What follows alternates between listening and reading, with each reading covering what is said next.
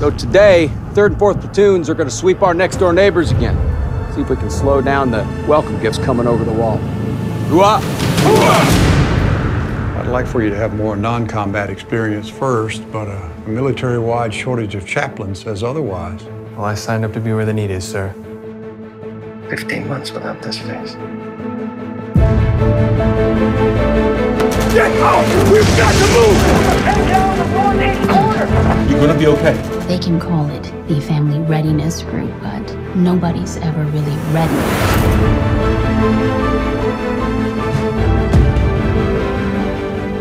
Divorce is filed in the last three months. But soldiers losing families and having nothing to go home to is not the stabilizing force we need around here. Really? Just let me in. Messing with other people's lives just part of your job description or something. I mean, kinda. Okay, well, my marriage is none of your business. You don't know anything about me or my family. Hey, who's gonna take this one? They hit us with two RPGs, sir. Get her down! Couldn't save her, chaplain. So I guess do whatever it is you do. I just feel like there's something more that's happening between us. It's not between you two. It's between you two and that war. Oh, we got two on the rooftop. Get us out of here! Take them out! I trusted in God to protect those men, and He did! No, you trusted in God to do what you thought He ought to do. I want to know why. I want to know why you somehow have it in you to show up for those men when you refuse to do it for your own wife and kids. Those men need me!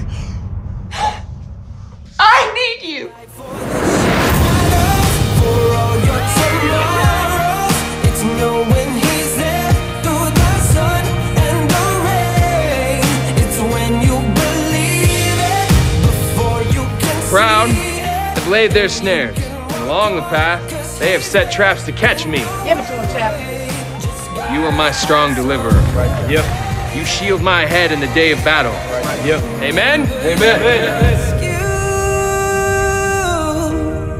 Standing beside you